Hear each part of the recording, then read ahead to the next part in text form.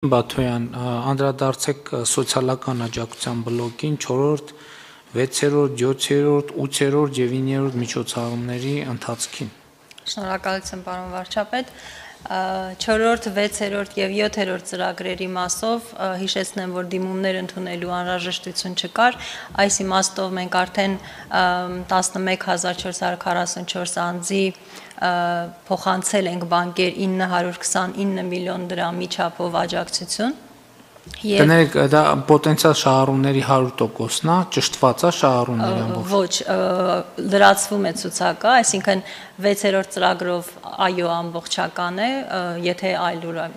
այսինքն տեխնիկական խնդիրների պատճառով դուրս մնացած չլինեն, այստեղ ամբողջական է, բայց 4-րդ 6-րդ ծրագիրը այն մարդիկ էին, ովքեր ապրիլի 13-ից ապրիլի 20 մինչև մարտի մարտի 31-ը ընկած ժամանակահատվածում ազատվել էին աշխատանքից եւ նոր աշխատանք չէին գտել։ Հիմա բոլոր շահառուների համար գումարները փաստորեն բանկերում հասանելի են։ Այսինքն իրենք պիտի իմանան, որ կարող են գնալ ցանկացած բանկից կարող են ստանալ։ Չէ, 4 բանկ կա եւ բանկի մասին տեղեկությունը նաեւ կարող են ստանալ on-line SSA.am մուտք գործելով եւ իրենց տվյալները պարզապես լրացնելով։ Իրանց կասի համակարգը թե որտեղից ստանան։ Այո, իրենց ինֆորմացիան կստանան։ Բացի այդ, ուզում եմ նշել, հիշեցնել, որ մենք նաեւ ընդլայնել ենք 7-րդ միջոցառման շահառուների շրջանակը, սա վերաբերում էր հղի կանանց եւ նախնական շուրջ 3800 շահառուի փոխարեն մենք ակնկալում ենք ունենալ ավելի քան 8000 շահառու այս իմաստով առաջին խմբի ցուցակը արդեն տվյալ նշված կայքում է եւ փոխանցումները արված են բայց Տիկին Բաթոն, եկեք հիշեցնենք, թե ինչ փոփոխություններ են կարել մենք մեր ծրագրում, ումով ենք ընդլայնել ծրագիրը։ 7-րդ ծրագրով ընդլայնել ենք շահառուների շրջանակը, ներառելով նաև այն հղի կանանց, որոնց ամուսինները ոչ ոչ միայն ազատվել են աշխատանքից, այլ մինչև նշված ժամանակաշրջանը, որ նախկինում նշել էինք մարտի 13-ից մինչև 30 30-ը, եթե չեմ սխալվում, այլ ընդհանրապես չեն աշխատում, այսինքն գուցե աշխատանքը կորցրել էին ավելի վաղ եւ իրենք չեն աշխատում, այսինքն սա վերաբերում է աշխատանք չունեցող կանանց եւ եթե ամուսին ունեն նաեւ իրենց ամուսիններին։ Այս իմաստով շրջանակը լայնացել է եւ նոր ցուցակները մենք արդեն կունենանք վաղը։ Վաղը հրապարակված կլինի։ Ինչ վերաբերում է 8-րդ եւ 9-րդ միջոցառումներին, այս 4 միջոցառման մասին չասեցիք։ Չորրորդ միջոցառման սա վերաբերում էր երեխաներին, այսինքն մինչև 14 տարեկան ունեցող երեխաներին, ովքեր ազատվել էին աշխատանքից, այս դեպքում գումարները փոխանցված է, թիվը որ հնչեցրեցի, բոլորը միասին էր։ Այս պահին ունենք 964 երեխայի տվյալ, որի գումար, ինչպես արդեն նշեցի, հասանելի է բանկում։ Նրանից ավելի քան 200 200-ը ստացել են, այսինքն մենք Կներեք, մենք այս բազայի վրա աշխատում ենք, որպեսզի թարմացնենք։ Այո, մենք այս բազան ստանում ենք ՊԵԿ-ից, որովհետև բոլոր տվյալները ուղղակի մեզ փոխանցվում են։ Ինչ վերաբերում է 8-րդ եւ 9-րդ ծրագրին, այստեղ մենք դիմումների հիման վրա ենք աջակցությունը տրամադրվում եւ այսօր արդեն դիմումների ընդունելությունը հնարավոր կլինի, քաղաքացիները կկարողանան դիմել։ Հիշեցնեմ 8-րդ ծրագիրը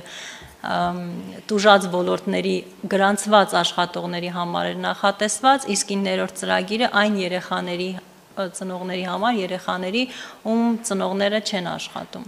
վճարումները 8-րդ ծրագրով ամենաուշը կլինեն վաղ առավոտյան 9-ից արդեն հասանելի կլինեն, իսկ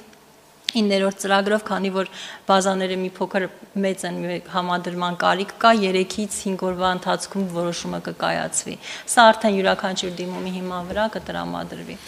բայց ուզում եմ նաև եթե կարելի է պարոն վարչապետ ուղղակի իրազեկելու համար քաղաքացիներին նշել որ գործում է երկու թեժգից, որի միջոցով կարող են մանրամասներ իմանալ 114 հեռախոսահամարը եւ Եվս մեկ թեժգից է գործարկվել արդեն մեկ շաբաթ է 011 300 114 հեռախոսահամարը, որին 5 օրվա ընթացքում ավելի քան 43000 զանգ ենք ստացել։ Այս հեռախոսահամարով ավելի քան 100 աշխատակից ներգրաված է, որպիսի պատասխանի միայն այս սոցիալական ծրագրերի մասին քաղաքացիների հարցերին, այնպես որ եթե կլինեն տարբեր հարցեր, տեխնիկական խնդիրներ, այս մասին նաև իրազեկում ենք հերոստանգերությունների հետ ենք աշխատում, հանրայինի հետ հիմնականում մեր Facebook-յան կայ էջի միջոցով, այսինքն այս իմաստով եւս աջակցությունը հասանելի է։ Շնորհակալ եմ Տիկին Բաթոյան, հարգելի գործընկերներ, չնայած այս պահին արդեն իսկ օգտված քաղաքացիների թիվը տասնյակ հազարով է սահմանափակվում, բայց ուզում եմ ասել, որ այս ծրագրերի շահառուներ են մի քանի 100 հազար մարդիկ, պարզապես ծրագրերը հնդածս մտնում են ուժի մեջ եւ պետք է նաեւ քաղաքացիները կա նաեւ խնդիր, որ քաղաքացիները դեռևս հասանելի լինելով փաստացի չեն օգտվել իրենց ծրագրերից Իհարկե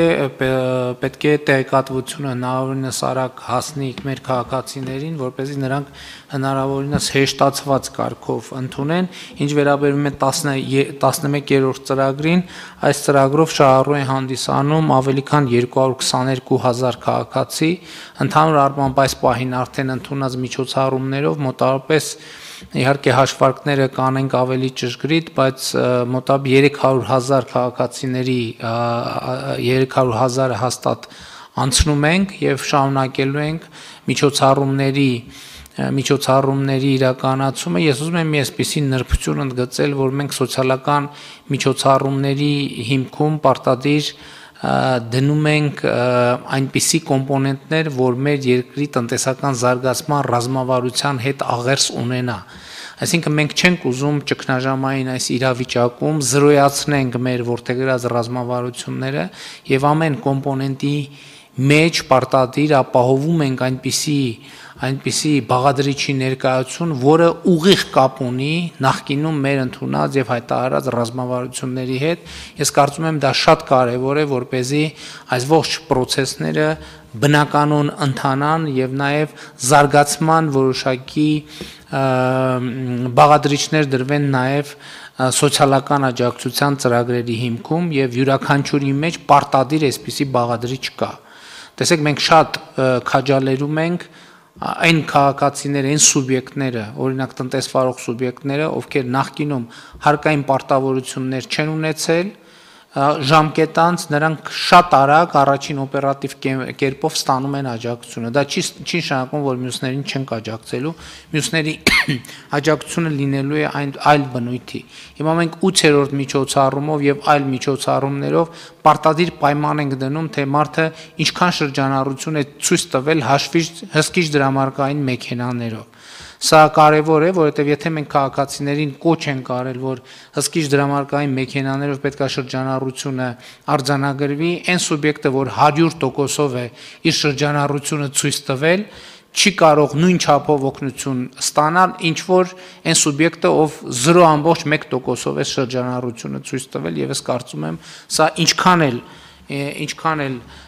ճգնաժամի ժամանակ կարող է էմոցիոնալ որոշակի ֆոն ստեղծել, բայց ես կարծում եմ, որ մենք պետք է ռազմավարական մեր քայլերով քաջալերենք տնտեսական այնպիսի գործունեությունը, որը որը իր կենսունակությունը վիճակի է ցույց տալ նաև ճգնաժամային պայմաններով եւ իր գործունեության ընթացքում իմիջայլոց մեծացնում է ճգնաժամներ հաղթահարելու պետության եւ կառավարության հնարավորությունները։ Բան ունեիք ասելու, խնդրեմ տիկին բան։ Եթե թույլ կտակ պարոն վարչապետ, ես ուզում եմ կարևացի այդ ձեր նշածը կարևորել եւս մեկ հանգամանք, ինչը շատ կոգներ մեզ իրականացնել աջակցման ծրագիրը եւ ինչը այս պահին դժվարացնում է եւ շատ հա, հաճախ նաեւ դանդաղելու պատճառ է հանդիսանում խոսքը ֆորմալ փաստաթղթեր ունենալու, գրանցումներ ունենալու հարցն է։ Մենք ընդհանրապես խնդիր ունենք գրանցման ապրելու բնակության փաստացի վայրում գրանցում ունենալու, ամուսնությունը գրանցելու, այսինքն բոլոր այն հարաբերությունները, որոնք որ մենք ունենք, դրանք լինեն ընտանեկան, աշխատանքային կամ բնակության վայրի հետ կապված, դրանք շատ կարևոր է փաստագրել եւ համապատասխանեցնել իրականությանը, որովհետեւ այս դեպքում քաղաքացիների մասին տեղեկատվությունը շատ ավելի հեշտ է հավաքագրել եւ իհարկե աջակցությունն շատ ավելի հասցեական է տրամադրել։ Այո, եւ մենք այս առիթ օգտագործում ենք մեր տարբեր բազաները կարգի բերելու համար, թվայնացման process-ները ավելի որակյալ դարձնելու համար, որ เป զի որ เป զի նախ աջակցության ծրագրերը արդյունավետ լինեն եւ եւ հետո հնդածս կատարվեն այնպիսի աշխատանքներ, որոնք ուղղակի կենսական են մեր երկրի հետագա կենսագործունեությունը ապահովելու համար։ Ուրեմն